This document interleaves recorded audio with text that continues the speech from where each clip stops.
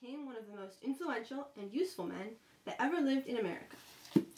Children, it's been a pleasure being your teacher this school year, and I hope to see you all again in the fall.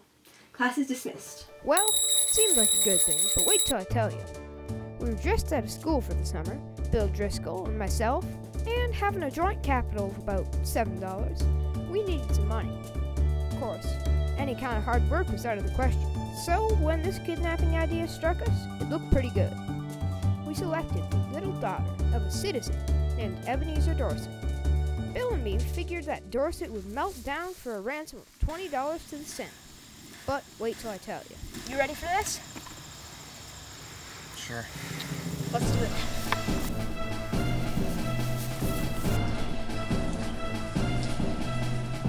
There she is. Ruby Joy Dorset, only and no doubt treasured daughter, Ebenezer Dorset Esquire. Yes, Bill, get an easy $20 for her.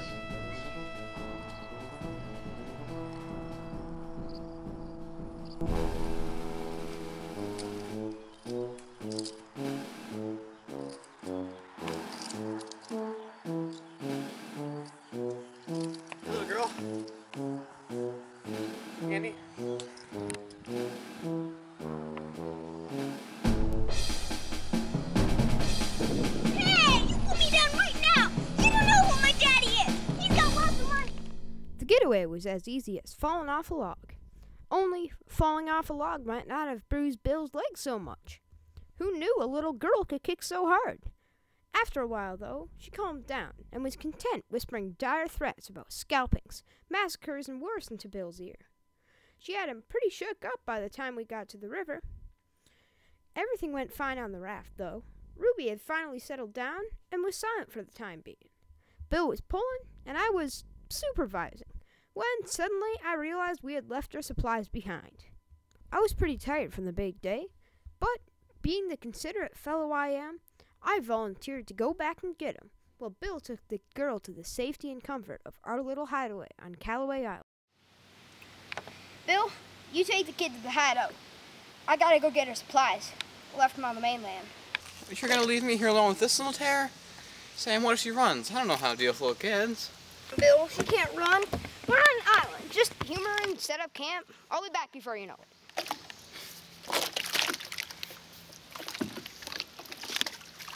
All right, Ruby. We're gonna go to the hideout now. Come with me. I'm not Ruby. I'm the mighty Indian warrior, Red Chief.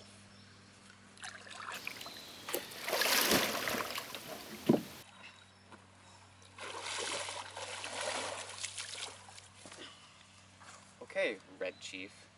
Let's go make camp. Shh! Quiet! You don't want to alert the palefaces of our position. So that's how I left them. Ruby, or should I say, Red Chief, was heart and soul a mighty Indian warrior, and she had Bill, whom she christened Old Hank, wrapped around her little finger. By the time I got back with the supplies, she had stalked and captured poor Hank, and had sentenced him to be scalped the next morning.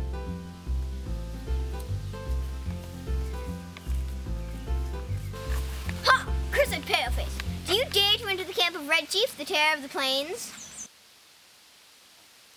She's all right now. We're playing Indian. I'm Old Hank, the trapper, Red Chief's captive, and I'm to be scalped at daybreak. Man, that kick can kick hard. You can be Snake Eye, the paleface spy.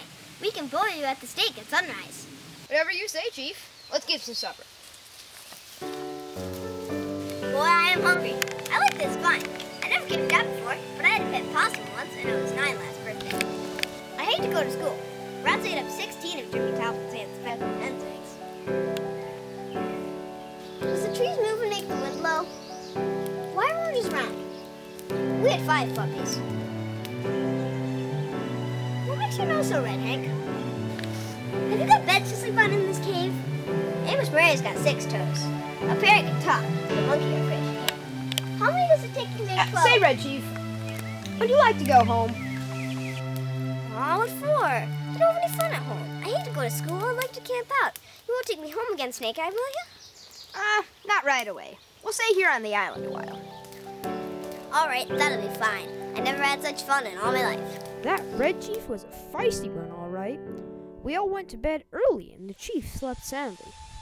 I'd figured that after a good night's sleep, she'd be more docile, but boy was I wrong, because early the next morning, Ah! Sam! Sam! Sam! Sam! Sam! What what are you thinking? Now go back to bed and don't get up again till I tell you. Oh, thank you, Sam. You saved my life. You don't think she actually would have gone through with it, do you? Nah, she's just excited about it being a new place and all. Don't worry about it. It'll pass.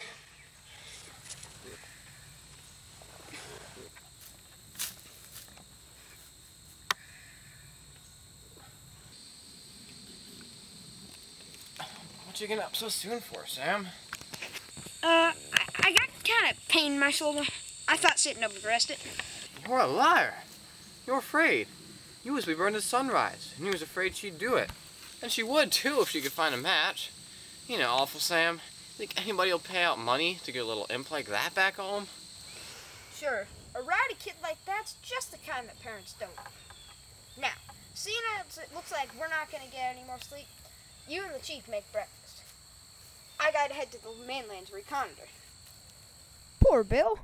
I felt bad leaving him like that, but after a while, I put it in perspective. All he had to do was keep an eye on one little girl for half an hour. That was nothing Bill shouldn't be able to uh, handle, even if she did think she was an Indian chief. Come to think of it, it was me who had the real scary job, risking life and limb to go back to the Dorset homestead. Yes, sir, compared to me, Bill had it easy. There he is. Old Dorse himself. And looking none too worried neither. Then again, maybe it hasn't been discovered yet that the wolves have taken the lamb from the fold. Haven't helped the wolves. I must admit, Dorset's unruffled appearance sure threw a wrench in our plans. So I decided to take a walk and think things over. Bill and Red Chief were surely fine making breakfast and relaxing in our snug little hideaway. So I figured they wouldn't begrudge me a little peace and quiet for my thinking. And by the time I got back, we could discuss my newly formed strategy over a good breakfast of fire roasted potatoes. Okay, you little rogue. Time for some breakfast. And you're gonna help me. No, I'm not.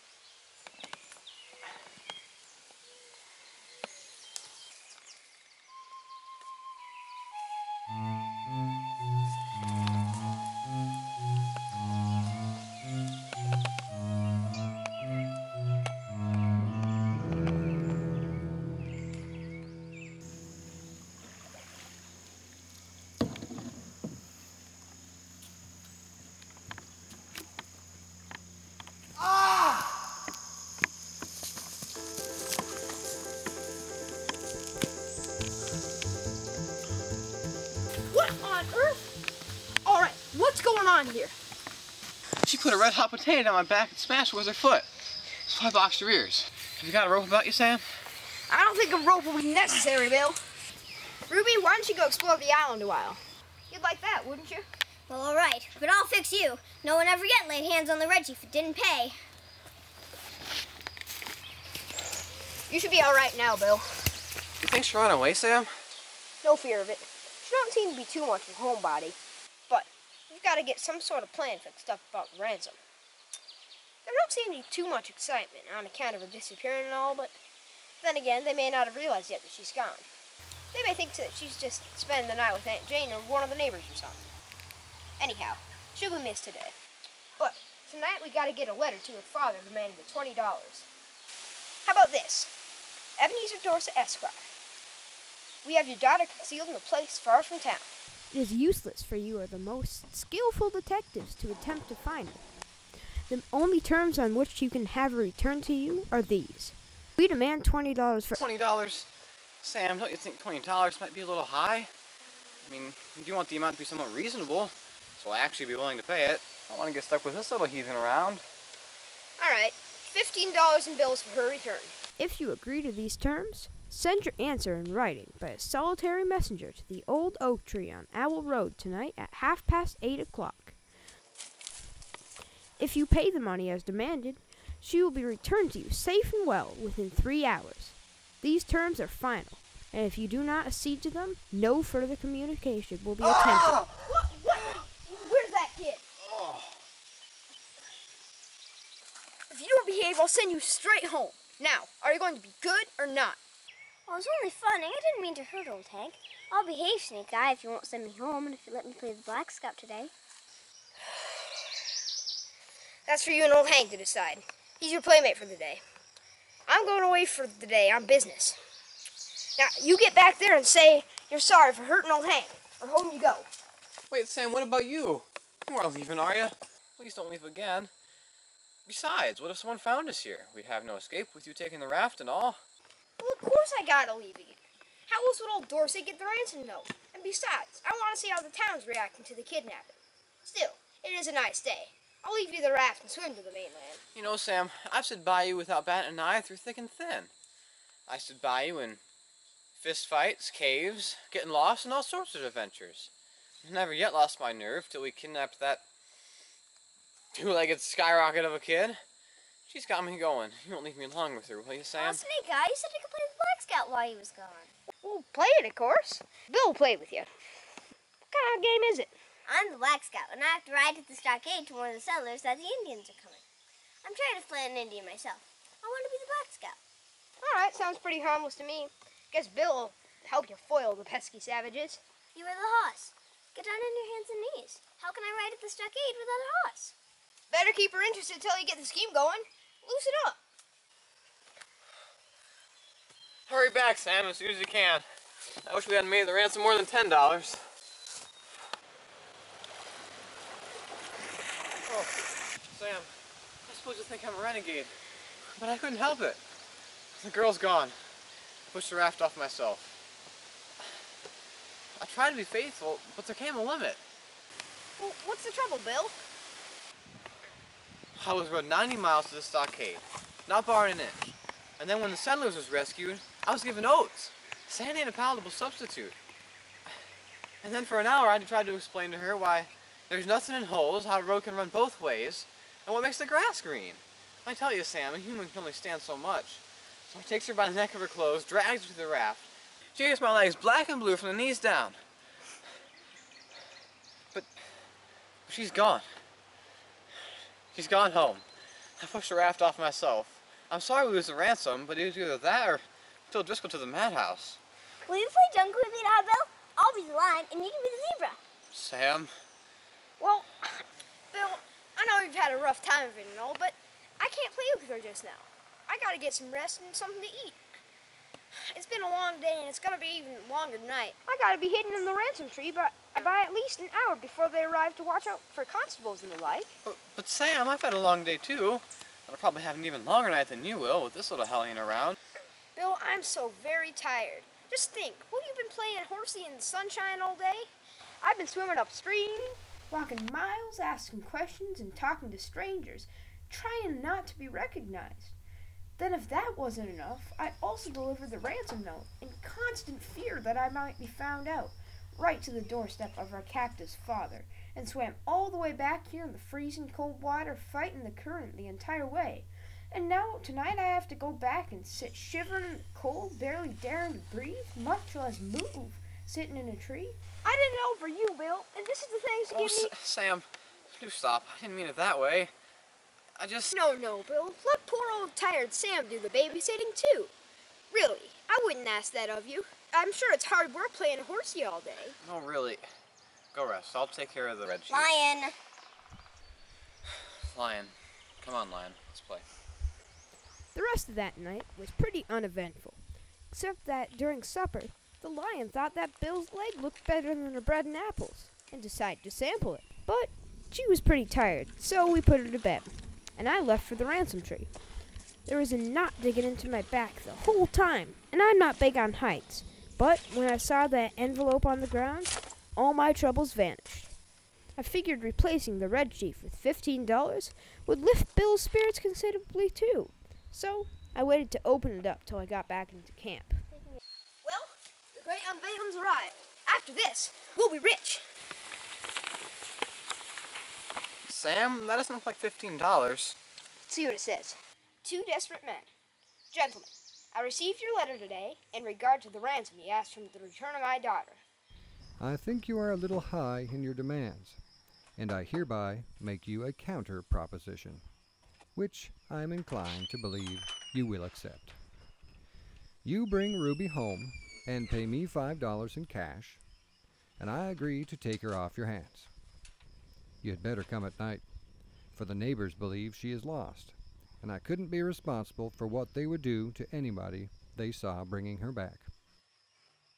Very respectfully, Ebenezer Dorset, Esquire, wife of the Sam, Indian. what's five dollars after all? We've got the money. One more night with this kid of around will set me to a bed in bedlam. Besides being a thorough gentleman, I think Mr. Dorset is a spendthrift for giving us such a liberal offer. Tell you the truth, Bill, little Eulan's been getting on my nerves too. We'll take her home now and make her getaway. One problem. How will we get her to go back home? She won't like it. You leave that to me. I'll take care of it. Hey, hey, Ruby, wake up. Your father just wrote us and said he has a silver mounted rifle and a pair of moccasins for you at home. You'll probably need them for when we go bear hunting tomorrow. Really? Oh boy, can we go right now, please, Sam?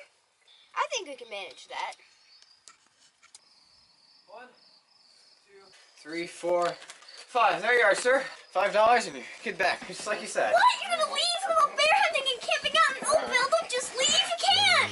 How long can you hold her? I'm not as strong as I used to be, but I think I can give you ten minutes. oh, good. Ten minutes, that's across the central, southern, and midwestern states. We're lucky it for the Canadian border. I don't doubt it. I'm free.